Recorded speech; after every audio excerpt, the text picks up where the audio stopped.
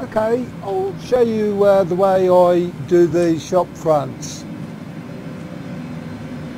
Just using a pole and a squeegee scrubber like I'm doing now.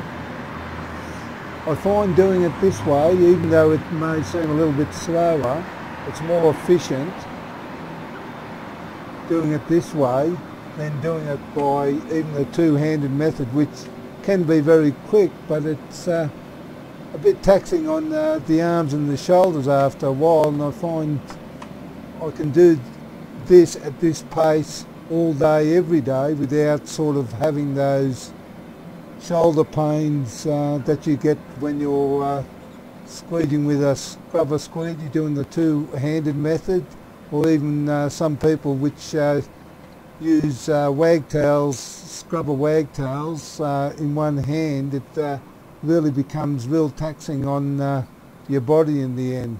But I find doing this most of the time, which I do now because I find it so much easier. But uh, anyway, I'll just keep on going and uh, till I finish this and uh, I'll leave it with you. So I suppose that's about it.